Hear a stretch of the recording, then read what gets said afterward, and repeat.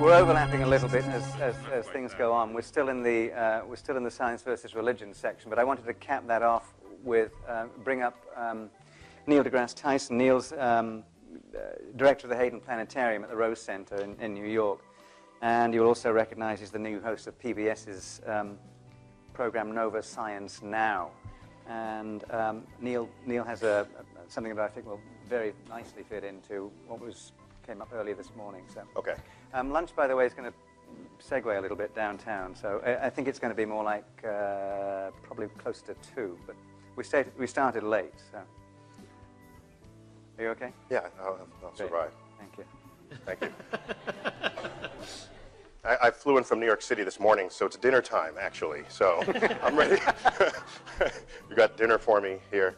Um, thank you first for this invitation to come present. And uh, I'm familiar with many of your names and faces, and I'm even close friends with some of you out there. Uh, what I wanted to do was put some issues on the table that I have not seen commonly discussed, and that I think they ought to be front and center for these next several days. Unfortunately, I missed Professor Weinberg's talk because I tried to get here. I, I, woke up at 4 o'clock this morning in New York City um, to get here, and the best I could do was halfway through I missed your talk completely, but I got uh, uh, half. You're forgiven. Okay. but I, I, I, learned from informants that, in fact, we have some, uh, uh some significant overlap in our discussion of uh, Islam from a thousand years ago. So forgive me if I repeat some of what you might have already heard, but I'm going to bring it out anyway because there's a context, there's a broader context that I want to share with you. And I'm told I have full control here. Uh, Let's see if this works. Oh, in case you're wondering, that's the Eagle Nebula. Uh, one of the few photos that you'll see that are this beautiful that are not by the Hubble telescope. Uh, this is a one meter telescope at Kitt Peak Observatory in, in, um, in Arizona. And the shape of the eagle is not discernible, it's almost, it's barely discernible in this frame because the eagle is, much, is about two or three times the size of this. And the head of the eagle would be up here, so uh, up here and the wings off to the left and off to the right. Perhaps the most famous image of Hubble is a close-up of this zone right here, which has been variously be called the pillars of creation, God's fingers, and all sorts of other sort of religious references. People feel that way when they look at images of the cosmos, of course. I was always curious, though, that in the same universe you have things like the underbelly of a tarantula, and when magnified, no one thinks religious thoughts when they make those observations when it's, it's part of the same universe. So, uh, but I'll get back to that in a few moments. So here, uh, what I want to do is I want to highlight a few issues. And these are issues that came together for an essay I wrote that appeared in Natural History magazine, the Darwin issue. It was the opening of our Darwin exhibit uh, that is now traveling. It's no longer there at the museum. But the Darwin issue collected together stories, um, articles on the relevance of evolution, not only as a, an important concept in biology, but an important concept in all of science. And I thought long and hard about how could I possibly contribute to this? Because I, I, I don't know enough biology to be meaningful in that issue. And then I realized that there are elements of, in fact, the intelligent design movement that clearly there's a lot of teeth that members, people attending this workshop have put into that subject. And I asked myself, do I have anything con to contribute to that? And I realized that I did. And so I want to sort of fill a niche that I think is left unfilled. Uh, let's, so, so let's go through. Let me first start off with um, Ptolemy. I don't know if we know that he really looked like this, but uh, uh, Ptolemy, you know, was one of the greatest scientists ever and most influential scientists. And his most important work is, of course, Almagest, which is, which is Arabic for the greatest. And uh, in it, he sort of codifies the, the geocentric universe. And this Earth-centered universe prevailed for centuries until Copernicus and Galileo turned that around. But what I want to call your attention to are notes that he penned in the margin of the manuscript of his work. Uh, let me remind you that back then, you would look up at the night sky and the planets would move against the background stars. They would wander, because that's what the word means in Greek, is wanderer. And there were seven of these objects, the sun and moon included. And they would just kind of move. They'd go to the left, and then they'd slow down and pause, and then they'd back up, and then they'd reverse again. And this was, kind of, this was a mystery, complete mystery. And of course, the heavens were not Earth. And so the fact that you didn't really understand what was going up there was kind of okay and expected because that was the work of the gods. And we, being mortal down here on Earth, if you can't understand it, don't lose sleep over that fact. You perhaps never will. Now, Ptolemy had sort of the best going explanation anyone had put forth uh, with the epicycles and the like. But nonetheless, this is, the this is the boundary between what is known and unknown about how the machinery of the universe works, and he pens these words, which for me are one of the most beautiful and poetic references to the state of one's knowledge ever written. I know that I am mortal by nature and ephemeral, but when I trace at my pleasure the windings to and fro of the heavenly bodies, I no longer touch earth with my feet. I stand in the presence of Zeus himself and take my fill of ambrosia. And so therein is this emotional, he, has got this sort of religious feeling at the limits of his knowledge. And this is a trend that will continue for thousands of years to follow this. At least 2,000 years to follow this.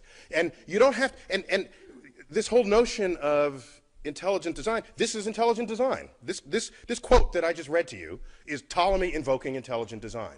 No, he's not trying to get it, get that into the classroom. He's not, you know, there's the politics of intelligent design in modern times. But what I think has been swept under the rug that we have to contend with as a community of people who are sort of truth seekers is the fact that some of the greatest minds that have preceded us have done just this. Okay? That's Ptolemy. But we can go on. Who else do we have? Oh, Galileo, interesting case. Galileo uh, was kind of an exception to this. Uh, we all know a, he was a deeply religious man, and a lot of the trouble he got into was because he was just kind of obnoxious, all right? He could have made nice with the Pope, and he did not. And of course, I'm paraphrasing. I mean, I'm, I'm, I'm uh, that's the Reader's Digest version of what happened over that period. But let me share with you some lines that he wrote uh, to Christina, who was the Grand Duchess of Tuscany. Some of these quotes you've heard before. Um, but I think they're, they're worth taking to heart. The Bible tells you how to go to heaven and not how the heavens go. That's one of the famous uh, quotes attributed to Galileo. Another one is I don't feel obliged to believe that the same God who has endowed us with senses, reason, and intellect has intended us to forego their use. And so he was kind of the, f- I see him as one of the first to say, all right, if religion has a, if there's any point and purpose to it, it's not to be ser- to serve as a science textbook. Okay, so he was kind of the first to suggest this division, not to get rid of religion. Of course, like I said, he was a religious fellow himself. But it gets interesting when we get sort of philosophically interesting when we get to this gentleman. I can back up here. Uh, Sir Isaac Newton. Now, I don't know what you know of Isaac Newton, but everything I've read of his tells me that there's no greater genius to ever walk the surface of this earth. I'm just, just I don't know if you've ever felt that about anybody. I didn't feel that about anybody. You just read what this man wrote, okay? Line by line by line. This, this guy was plugged in to the machinery of the universe. I think there's, he's unimpeachably brilliant. Unimpeachably brilliant. And uh, let me read again what we heard from uh, Mike Shermer earlier. In Isaac Newton's writings, by the way, in his Principia, here's the page one, uh, page zero of Principia, in it, he like discovers the laws of motion, F equals ma, discover the laws of gravity. It's, you know, it's all there. And he did this all before he turned 26. And in this, when he talks about motion, there's no reference to God. When he talks about his, his two body force that he deduced, this universal law of gravitation, there is no mention of God. It's just not anywhere there because he understood it. He was on top of it. He was there. Even though the understanding of the motions of the planets before he came along was given unto God because nobody understood it. Or nobody understood well enough to really believe that they had a full predictive handle on it in the way the universal law of gravitation supplied. And so what you have is Isaac Newton abandoning reference to God until he realizes that if all you do is calculate the two body problem, here we have like the moon and earth. Yes, he's got that calculated. Now you have the sun and the earth. You got that. But wait a minute, now the earth and the moon go around the sun, and sometimes we're close to Mars and sometimes we're not. And when it comes near Mars, there's a, there's a tug that's stronger there than in any other part in the orbit. And then it comes over here, and then Jupiter tugs. And it's all these mini tugs. And so he's got to do this two body problem for Earth, the moon, Earth, and the sun, Earth, moon, and Mars, Earth, moon, Mars, and Jupiter, and it becomes a rapidly complex problem. And he realizes that, in fact, applying this simple sort of approach to calculating the stability of the solar system, he finds he can't stabilize the solar system. He can't account for how we have stayed this way for as long as what was possibly necessary from the beginning of the universe. And so what does he say? He's, he's, he's at his limits. He's at his limits. And so you read but God is nowhere until you get to the general Scholium. And then he says the six primary planets. Back then there were six planets, okay? Now there's eight, in case you haven't been keeping track. Um, Even if you thought there were nine, there are now eight. Uh, the six primary planets are revolved about the sun in circles concentric with the sun, and with motions directed towards the same parts and almost in the same plane. He's got the whole picture now, and he's trying to sort of account for that. But he can't just simply doing two body calculations. Certainly not without a computer or without a new kind of mathematics. He says, but it is not to be conceived but is it not to be conceived that mere mechanical causes could give birth to so many regular motions? This most beautiful system of the sun, planets, and comets could only proceed from the counsel and dominion of an intelligent and powerful being. This is Isaac Newton invoking intelligent design at the limits of his knowledge. And I want to put on the table the fact that you have school systems wanting to put intelligent design into the classroom, but you also have the most brilliant people who ever walked this earth doing the same thing. And so, the pro- it's, so it's a deeper challenge than simply educating the public. It's deeper than, as you know by the books written by our scientific colleagues that do, that do take these, these, these deeply resonant and charitable positions towards their religious beliefs. Maybe the real question here, uh, let me back up for a moment. You know, the, we've all seen the data. 40%, there's 90 whatever percent of the West or the American public believes in a personal God that responds to their prayers. And then you ask, what is that percentage for scientists? Averaged over disciplines, it's about 40 percent. And then you say, how about the elite scientists, members of the National Academy of Sciences? An article on that, those data recently in Nature, it said 85% of the National Academy reject a personal God. And then they compare it to 90% of the public. You know, that's not the story there. They missed the story. The, the story. What that article should have said is, how come this number isn't zero? That's the story. Okay? So, my esteemed colleague here, uh, uh,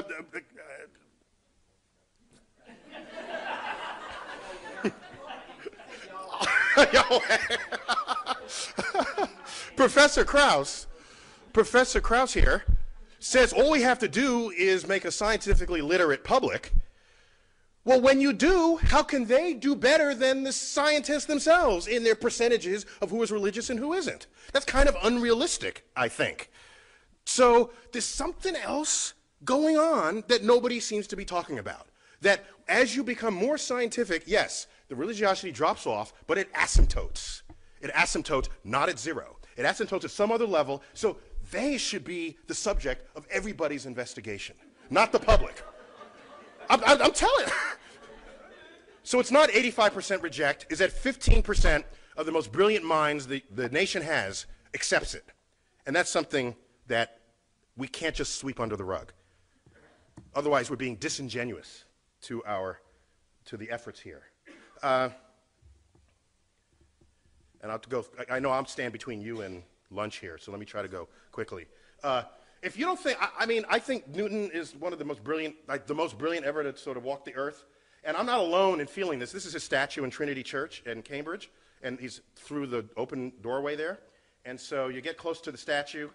He's without his curls here. I was deeply upset by that. I thought he was like really trendy with his long hair, but apparently that was probably just a wig at all times. You look at the base of the statue, um, loosely translated, of the genus of all, of all who have ever been human, there is no greater intellect than this man. And so I'm not alone in this sentiment. And this man wrote those words. So, but let's move on because there's more to talk about here. We don't have to stop at Newton. Let's go to Christian Huygens. All right? Brilliant, brilliant scientist. I mean, he was great at chemistry, biology, physics, math, a Dutch scientist.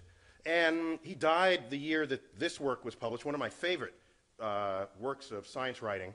Uh, and it's Cosmotheoros, which is a, an exploration on the likelihood of there being life on the known planets using the available knowledge of the day. So, for example, they knew that, uh, by the way, Huygens like, was the first to identify Saturn's ring as a ring.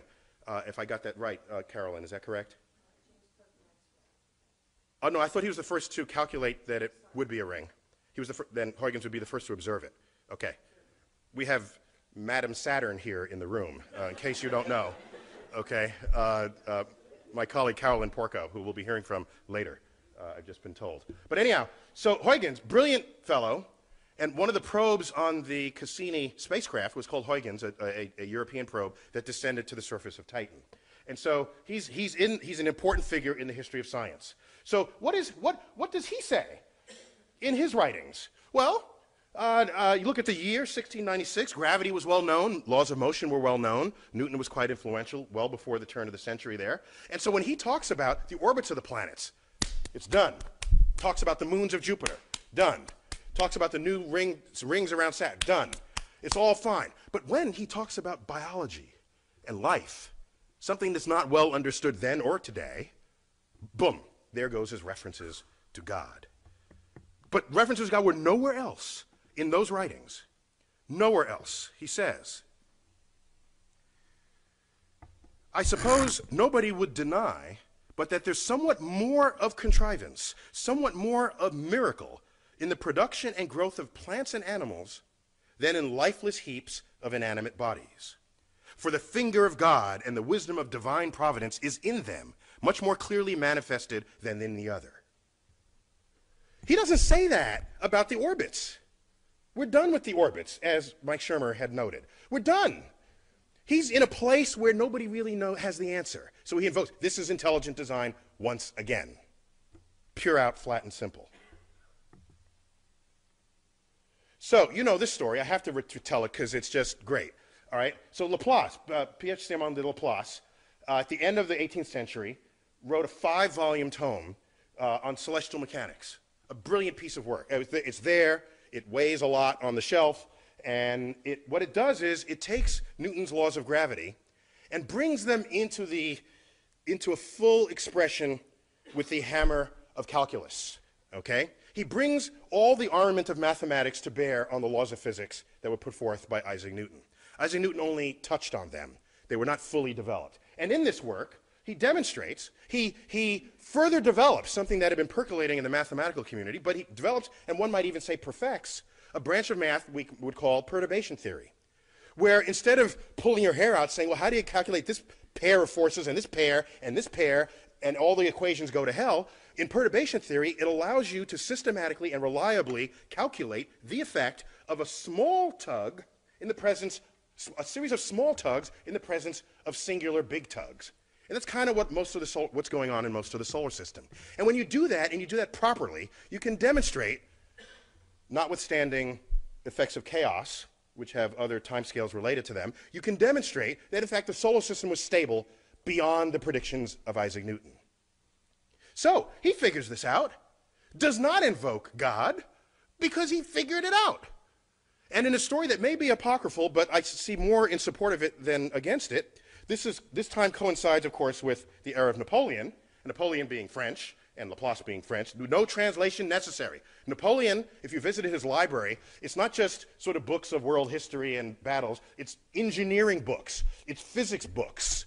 This man wanted to know where his cannonballs would land, all right? He was much more than just sort of a lucky general. He was into the physics, the engineering, and the material science of war.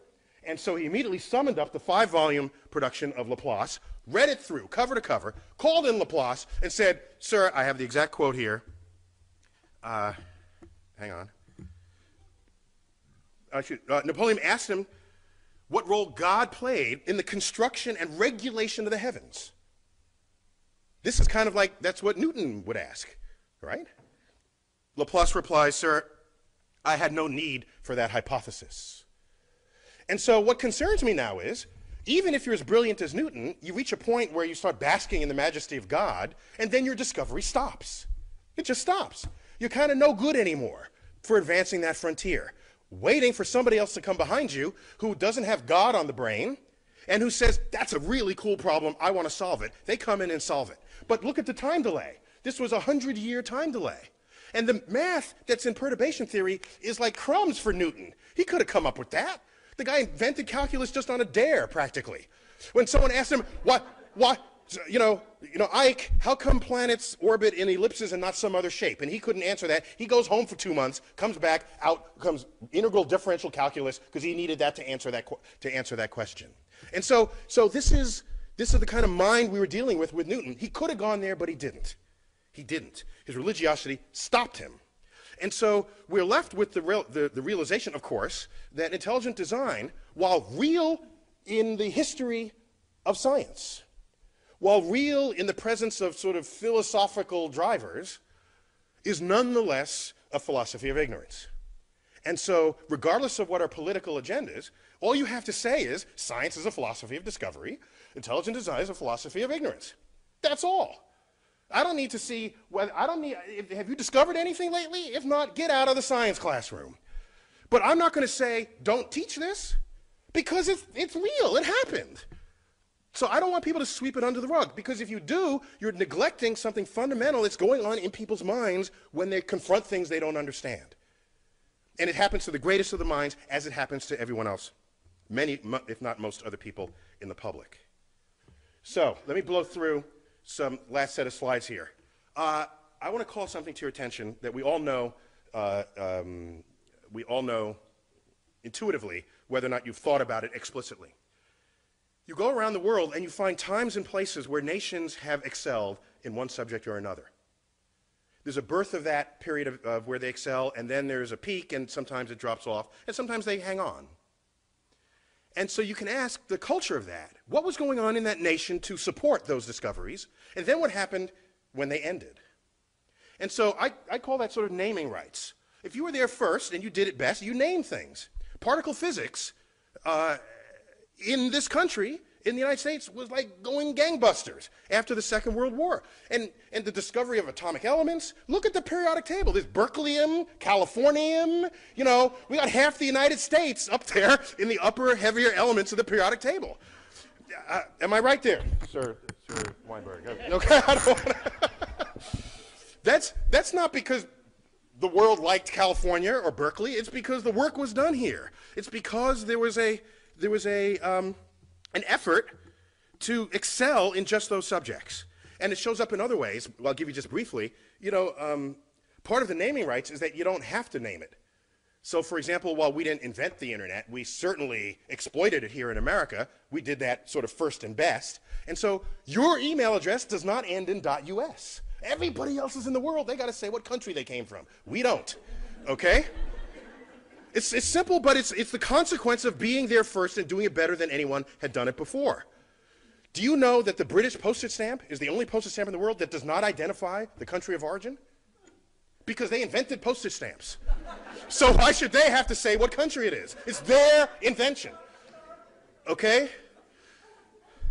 Check them out. It's, it's, it's just the facts of this the constellations of the night sky. We, it's the Greek and Roman, and it's lasted to this time because they did a really good job thinking that stuff up.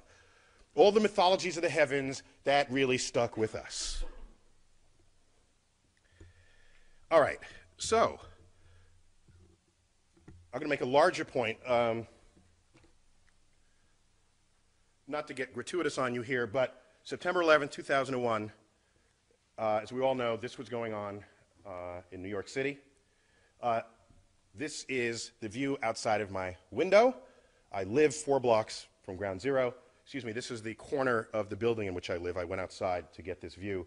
I was at the time judging whether I should go collect my daughter, who was in an elementary school two blocks north of the North Tower. North is to the right in this picture.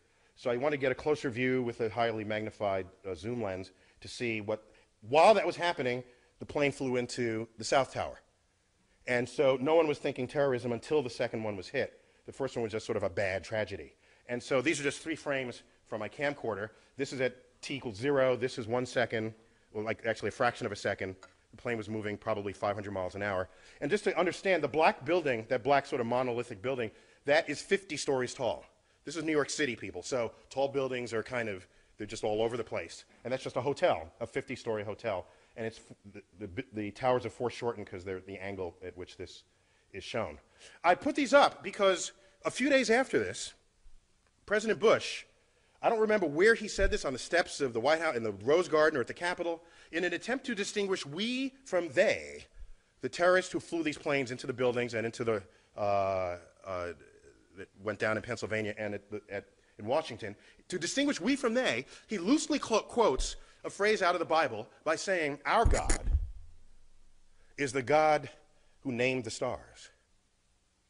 Now, this is before I was on his Rolodex, okay? Uh, because I could have helped him out there. The fact is, of all the stars that have names, two thirds of them have Arabic names. So this was not, I don't think, his intent with that message. Okay? While the constellations are Greek and Roman, the names are Arabic, all right? And the list just goes on and on and on and on. And so where does this come from? How does how do how do you get us how does this happen? How do you get stars named with Arabic names? How does this happen? And it happens because, of course, because hang on, just catching up with myself here. Okay? It happens because there was this particularly fertile period that um, Professor Weinberg duly discussed. Um, and around that period, that 300 year period, the intellectual center of the world was Baghdad. Baghdad. It was completely open to all visitors, all travelers, Jews, Christians, uh, doubters, which today we might call atheists. They were all there exchanging ideas. All of them. All of them. And it was that period where you had the advances in like engineering and, and biology and medicine and, and, and mathematics. All right? Our numerals are called what? Arabic numerals. They ever stop and think about that? You know, who's, who, as in America, do we pause, take pause at this? Why are they called Arabic numerals?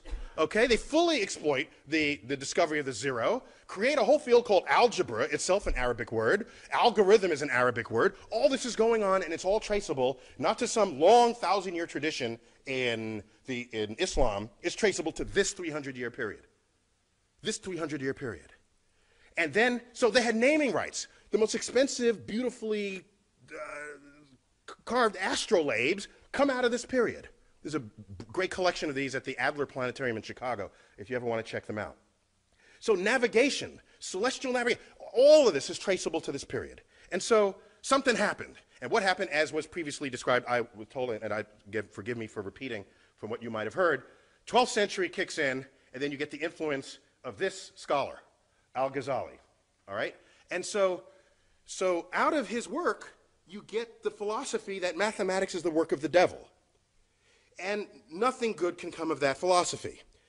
That combined with other sort of codification, philosophical codifications of what Islam would, was and would become, the entire intellectual foundation of that enterprise collapsed, and it has not recovered since. Over that period, all these books were translated into Arabic on a scale not seen since then. And so, so, so why, why, why am I even going here? Because I'm trying to explain to you that the you fast forward, the, the dangers here is that you fast forward to 21st century America and ask, what influences do we, are we feeling now? Because that, period, that naming period in Islam stopped and, and it never recovered. Because the, the, the, the way of thinking about the natural world, revelation replaced investigation. Okay? So I fast forward to 20, 21st century, and what do you find? You get things like this, okay? This is in America. All right? So now, what I find interesting is it's the, it's the level of passion that it requires to actually do. You got to like pay for this, okay? And it means a lot of people pissed off at the Big Bang. They're pissed off at the Big Bang. At, at our museum in New York, the American Museum of Natural History, they come to the Big Bang exhibit, and sometimes I don't feel like having that conversation. I say, why don't you go to our hall of human biology first, and then come to us? And that's where we have sort of monkeys holding hands with people in skeleton forms, and then they never make it back to the Big Bang. They're gone forever. okay? So, however egregious the Big Bang is, monkeys and people is a, is a worse is a, is a worse transgression, apparently. So there's that, but there's also, uh, here's a little bit of intelligent design here. Here's one that, that is wants to accept the science, but then is like what's before the Big Bang.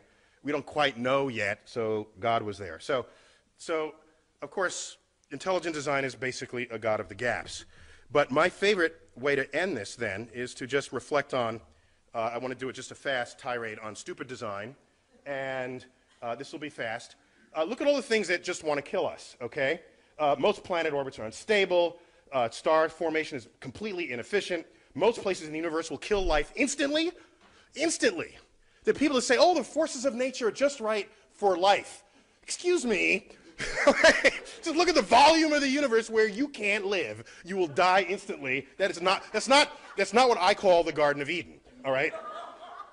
uh, uh, galaxy orbits that we orbit once every couple hundred million years, you're bound to come close to a supernova that will wipe out your ozone layer and kill everybody on the surface who doesn't otherwise have dark skin because your high energy rays will give you skin cancer.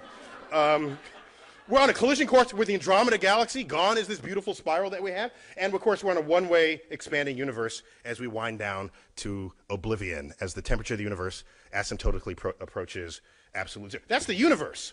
Then Earth volcanoes, tsunami just killed, uh, you know, I think that number's higher, up 200,000 people, floods, tornadoes. None of this is any sign that there's a benevolent anything out there. And this 90% is, should be 99%, as was earlier noted. That's a, um, of all life that has ever lived is now extinct. Inner solar system is a shooting gallery, comets, uh, uh, asteroids, duck. Um, and look how long it took to make multicellular life. Not from the beginning of the Earth. Life happened quickly, but not multicellular life uh, you needed your cyanobacteria to sort of crank on the oxygen, get the oxygen budget going. Then you could have sort of, uh, that's sort of rocket fuel for multicellular creatures. But that took three and a half billion years. That's hardly an efficient plan with us in mind.